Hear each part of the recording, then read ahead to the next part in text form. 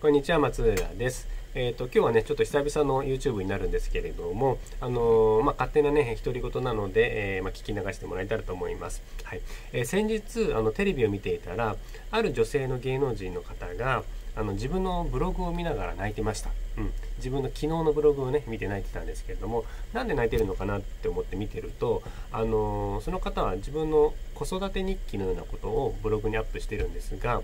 あの昨日のブログを見て昨日のブログのその我が子の姿を見て昨日までのこの子にはもう会えないんだって思うと泣けてくるって言うんですよね。うん、あのそれはあの感受性が豊かってことだしあの、まあ、私も親なのでその気持ちは分からなくはないです。分からなくはないんですけれどもただあのそのテレビの画面を見る限りではあのブログを見てるんですけどもこうやって見てるんですけれども赤ちゃんをこう抱っこしたままこうブログを見ているんですよね。うんあのー、本当にこう我が子が可愛くて愛おしいのであればまずその行為をやめるべきですよね。うん、あのー、スマホをいじるなっていう意味ではなくて赤ちゃんを抱っこしてスマートフォンをいじるっていう行為は赤ちゃんに対してすごくあの電磁波の影響があります。はい、あの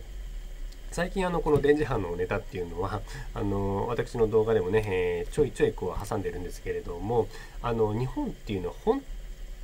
当に電磁波に対しては電磁波対策に対してはあの後進国ということが言えます。はいあのまあ、例えば欧米なんかだと、まあ、あの小さいお子さんなんかにねスマートフォンを持たせちゃいけないとか、あの電波塔とかなんでしょうあの送電線の近くには家を建てちゃいけないとかね、えそういう規制を設けてる国はあるんですけれども日本っていうのは本当にそういう規制が緩くって、あの国民にもそういう情報が全然あの公開されてないです。はいその理由はよく分かりませんけれどもあの日本の電気の使用量というのは世界第3位なんですよね。その第3位の日本があのその電磁波が当然ねそれに比例するように電磁波が出てるわけですからあのその電磁波対策に対して後進国っていうのはあの非常に問題があると思います。はい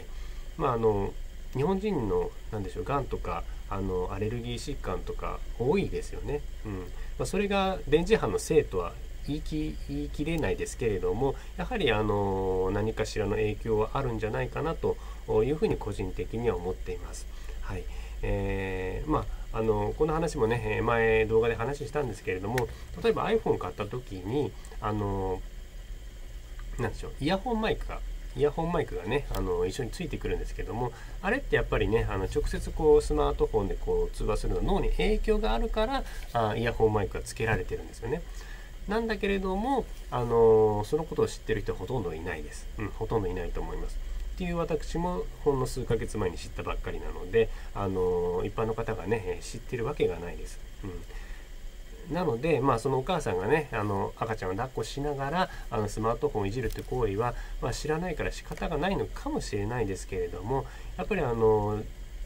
電磁波っていうのはねあの小さい子供お子さん赤ちゃんにね、えー、の脳にすごく影響を与えるっていうふうに言われてますので、えー、まずそういうね電磁波が本当にいけないんだってことにね、えー、一人一人が気づいていただいて、えまあね、あのできることからね、始めていただければと思います。はい。では本日の動画は以上になります。ご視聴いただきましてありがとうございました。